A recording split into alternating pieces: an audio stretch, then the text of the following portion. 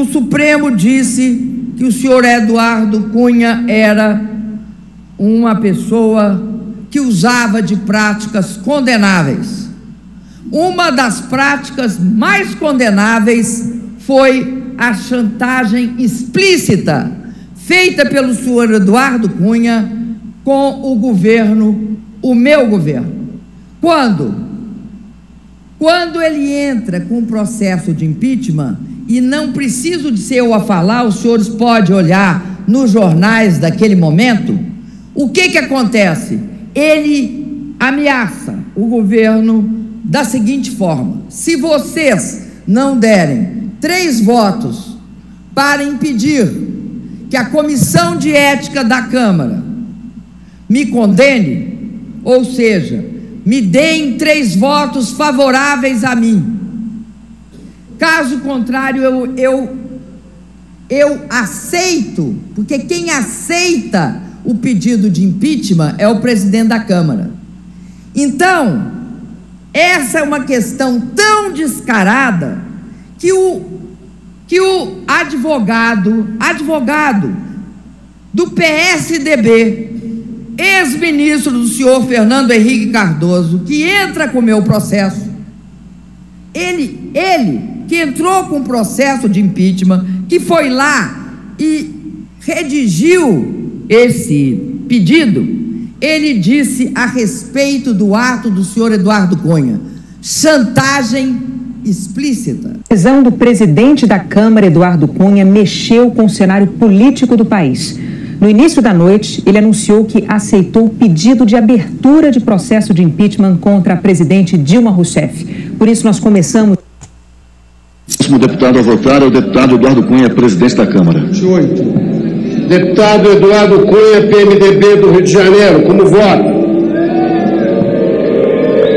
Que Deus tenha misericórdia dessa nação. Voto sim.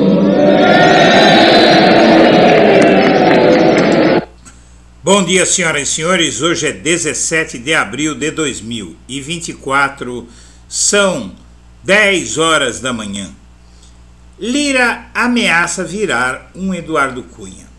Em primeiríssimo lugar, cumpre lembrar aqui que Arthur Lira é cria de Eduardo Cunha e pertence a um partido cujo presidente foi ministro de Bolsonaro e é bolsonarista até o talo.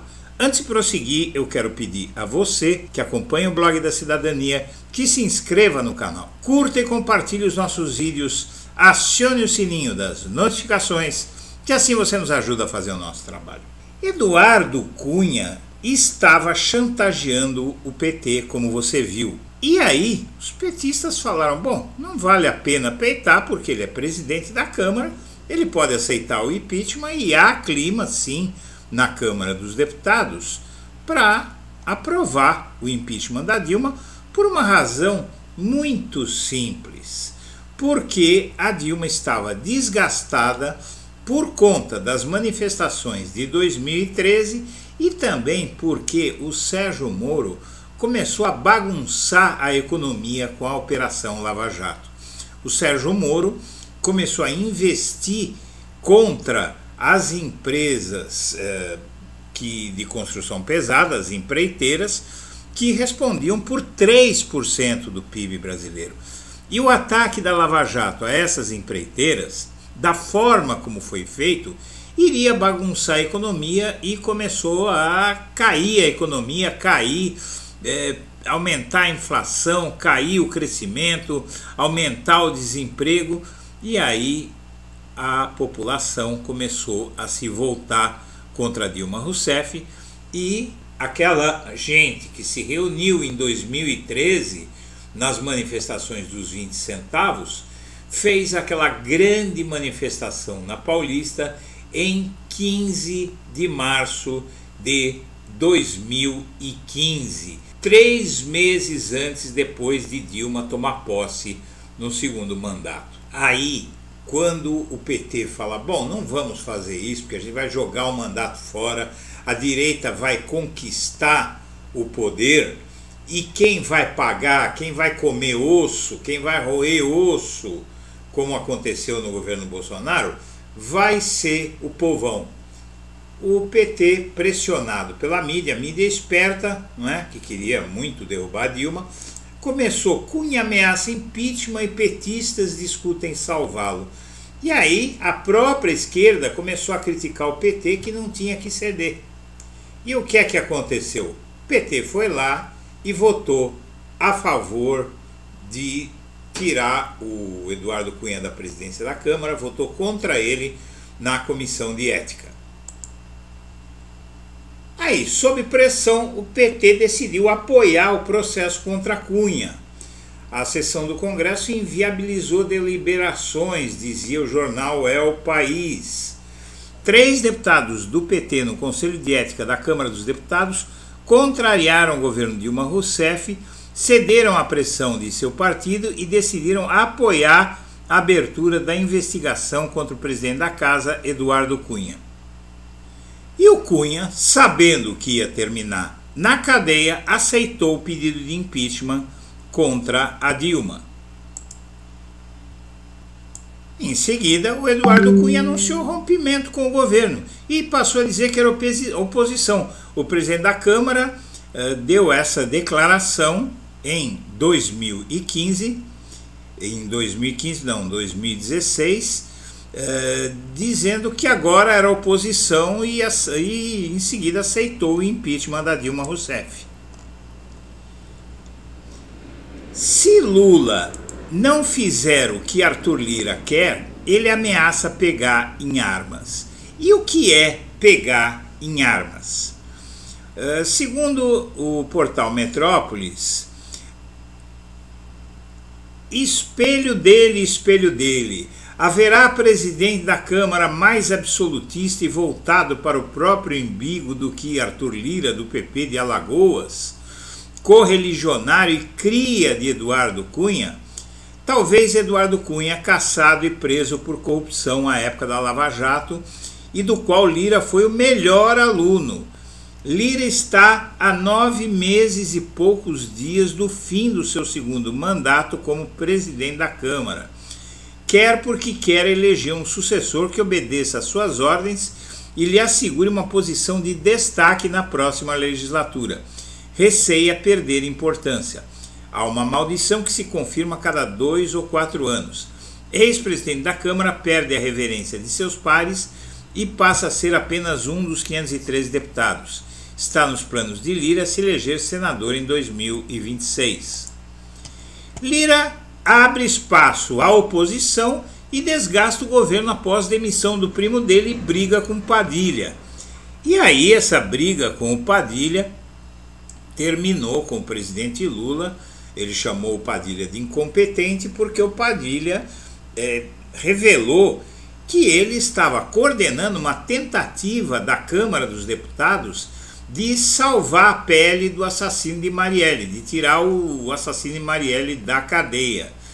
E aí ele chamou Padilha de tudo quanto é nome, Padilha que é o ministro das Relações Institucionais, foi ministro da Saúde da Dilma, né? É, e começou a xingar o Padilha de incompetente e tal. O Lula foi lá, falou que ele era competente e que só de birra o Padilha ia ficar muito tempo no cargo. O Lula é, ficou com raiva, foi lá e cedeu a raiva, e aí o resultado agora é esse. Lira vai criar um grupo de trabalho para discutir foro privilegiado e prerrogativas parlamentares. A discussão ganha força após a prisão do deputado Chiquinho Brazão. O Lira começa a planejar uma sabotagem do governo. O Lira vai pôr no Senado, no, no plenário, o jornalista do X-Files. Na verdade, o Lira quer dar o troco em Lula e ele prepara o troco em Lula. E esse é um problema muito grande. Após a escalada da crise com Alexandre Padilha e a demissão de um primo da chefia do Instituto Nacional de Colonização e Reforma Agrária, o INCRA, o presidente da Câmara, Arthur Lira, afirmou ontem a líderes partidários que vai abrir espaço à oposição para medidas com potencial de desgastar o governo. O deputado diz que vai instaurar a instalação de cinco comissões parlamentares de inquérito simultâneas, movimentação que preocupa o executivo e dar andamento a iniciativas que impõem freios ao judiciário. Ideal para o Palácio Planalto era esfriar os ânimos entre os poderes. O novo round entre Lírio e Planalto ocorre em momento que o governo tenta ganhar tempo para evitar prováveis derrotas. Pelo regimento da Casa, 5 é o número máximo de CPIs em funcionamento ao mesmo tempo.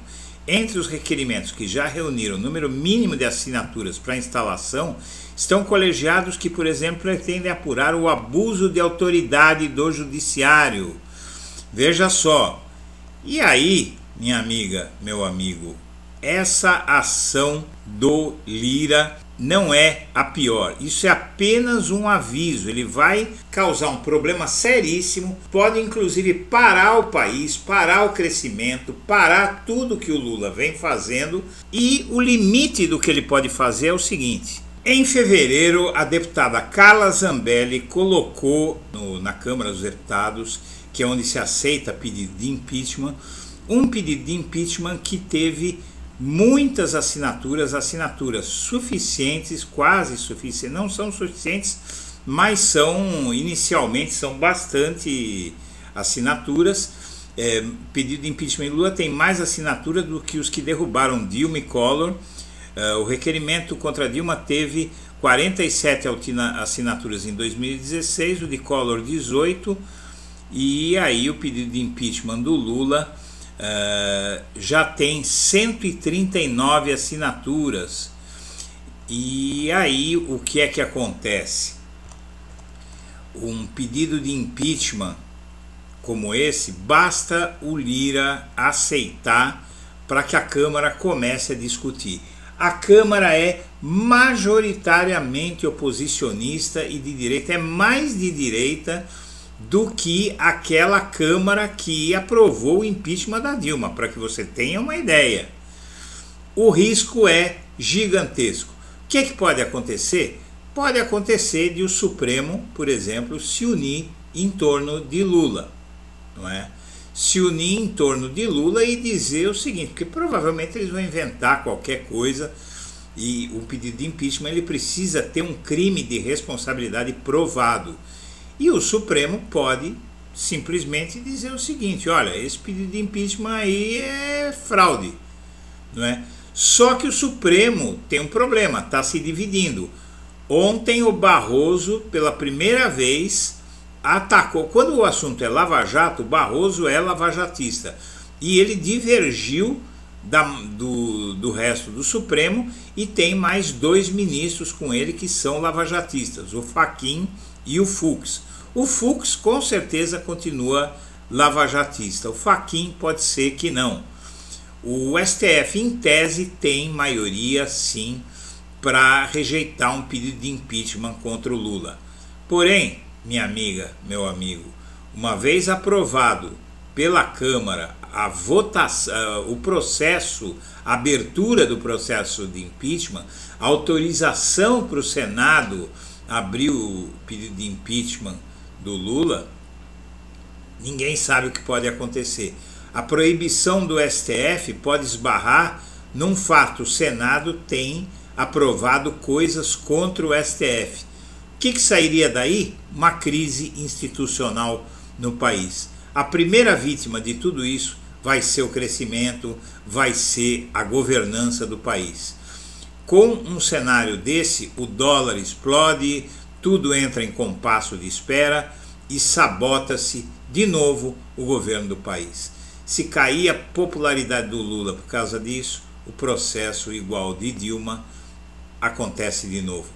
Então é bom que todos pensem nisso, inclusive a esquerda, antes de tomar atitudes impensadas. Senhoras e senhores, eu agradeço a atenção e deixo meu abraço para todo mundo.